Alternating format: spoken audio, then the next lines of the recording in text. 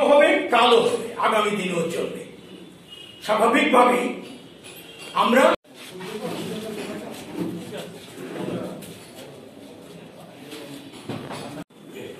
রাজ্য কমিটির সহ সম্পাদক এবং সারা ভারত কৃষক সভা জনমুক্তি পরিষদের কেন্দ্রীয় কমিটির সভাপতি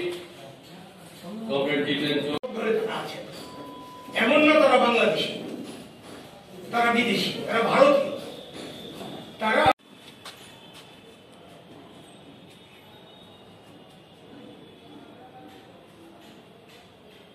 আজকে আমরা এই হলের মধ্যে এই প্রতিবাদ আমরা জানাতে চাই। আপনারা ইতিমধ্যে জেনেছেন আমি একটু আগে বললাম। কেন এই ঘটনা? এবং এটা কোনো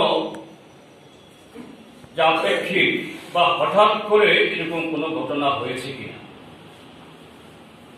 না, এটা মোটেই সেরকম। একটা হঠাৎ করে ঘটে যাওয়া কোনো ঘটনা না। এটা কোনো দুর্ঘটনাও না। আমাদের দেশে আরএসএস, বিজেপি আমাদের দেশে হিন্দু রাষ্ট্র গঠন করতে গাড়ির তলায় পিষে মেরেছে মোট ছজনকে আসামে দুজন, উত্তরপ্রদেশে চারজন। তাদের এই হত্যাকাণ্ডের প্রতিবাদে আমরা আজকে সারা ভারতবর্ষে আমাদের সংগঠন প্রতিবাদের ডাক সভা। আপনারা জানেন, একশো চুয়াল্লিশ ধারা জারি করে রেখেছে রাজ্য সরকার। এবং এটা করেছে প্রতিবাদের কণ্ঠকে স্তব্ধ করার জন্য। একের পর এক অন্যায় করে চলেছে। সেটা যাতে প্রতিবাদ না হয়, তার জন্য এখানে একশো চুয়াল্লিশ ধারা জারি করেছে। তার জন্য আমরা বাইরে প্রতিবাদ, বিক্ষোভ, মিছিল করতে পারছি না। আমরা হলে করোনা, কোভিড বিধি মেনে দূরত্ব বজায় রেখে বসে আমরা এই প্রতিবাদ কর্মসূচি পালন করছি। শুধু ত্রিপুরা না, উত্তরপ্রদেশে যেখানে তিন তারিখ এই হত্যাকাণ্ড করেছে বিজেপির মন্ত্রীর ছেলে, সেখানেও আজকে আপনারা দেখবেন সংবাদপত্রে এবং বিভিন্ন মিডিয়াতে, বিশেষ করে টিভিতে দেখছেন, সেখানেও হান্ড্রেড ফোরটি ফোর জারি করে রেখেছে। অর্থাৎ প্রতিবাদ যাতে কেউ করতে না পারে। একের পর এক অন্যায় করবে কিন্তু প্রতিবাদ করা যাবে না করলেই পুলিশ পেরিয়ে দিচ্ছে গুন্ডা লেলিয়ে দিচ্ছে। এটাই হচ্ছে বিজেপি। সেই কাশ্মীরে কি হচ্ছে? দক্ষিণ ভারতের মধ্যে কি কায়দা বিজেপি সেখানে এই বিভাজন সৃষ্টি করতে চায়? আর আসামে যেহেতু ধর্ম বিশ্বাসের ভাষা, সম্প্রদায়, সংস্কৃতি বিভিন্ন ক্ষেত্রে বৈচিত্র্য। এটা তাদের কাছে একটা বহুমাত্রিক সুযোগ হিসেবে তারা শুরু থেকে এটা গ্রহণ করেছে।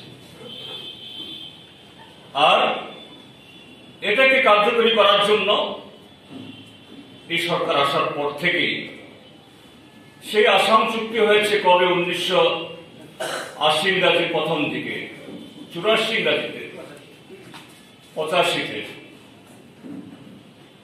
সেই চুক্তির একটা অংশ এনআরসি। তো মাঝখানে প্রায় দুই দশক চলে গেছে, সময় চলে গেছে। এগুলি নিয়ে আন্দোলনকারী যে সমস্ত সংগঠন, তাদের মধ্যেও সেরকম কোন রকমের হইচই বা কথাবার্তা নেই।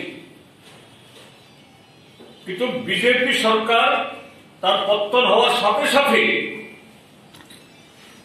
সেই এনআরসি, সে আসাম চুক্তির একটা ক্লস, এটাকে খুঁচিয়ে নিয়েছে। এবং তৎকালীন আমাদের দেশের সুপ্রিম কোর্টের মাননীয় বিচারক, পরবর্তী সময়তে সর্বোচ্চ বিচারক ভাবছি এই ম্যাজিস্ট্রেট ইয়ে হয়েছিলেন যে এই সুপ্রিম কোর্টের মানে সর্বোচ্চ ন্যায়াধিকারও হয়েছিলেন।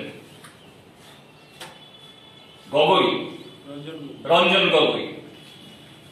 তাকে দিয়ে সুপ্রিম কোর্টে রিট পিটিশন করিয়ে এটা কার্যকরী করার জন্য সে করিয়েছেন। ব্যাপারটা দেখেছেন যে আসাম সরকার সেই এনআরসি মোতাবেক চল্লিশ লক্ষাধিক মানুষকে তারা বিদেশি। হ্যাঁ? পৃথিবীর যে কোনো প্রান্তে এটা আমাদের ভারতীয় উপমহাদেশ বলে কথা নয়। এটা ইউরোপে হোক বা আমেরিকাতে বা আফ্রিকাতে, যেখানে সীমানা আছে, কোনো একটা রাষ্ট্রের মধ্যে সামাজিক, রাজনৈতিক, অর্থনৈতিক কারণে বিবাদ, বিসংবাদ আছে।